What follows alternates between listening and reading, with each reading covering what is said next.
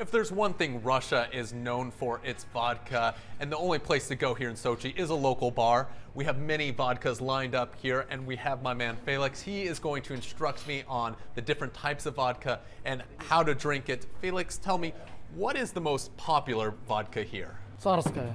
Русский стандарт. Белуга. But first, I must master saying cheers in Russian.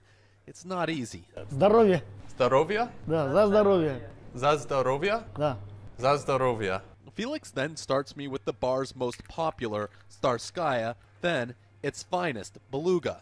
Definitely a lot smoother than the other one. But tell me, why are we eating pickles this time? In Russia, the salted pickle is the best snack for drinking vodka, he tells me.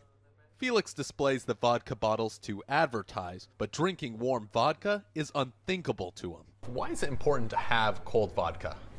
Должна быть холодная. It has to be cold, he tells me. It has to be very cold so it goes down smooth.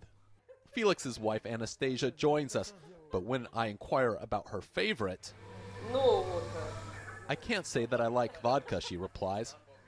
She tells me people drink to love, health, and luck, and that vodka is an inseparable part of Russian culture.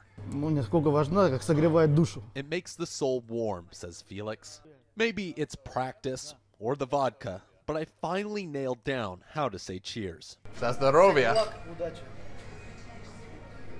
I'm Ian Lee in Sochi.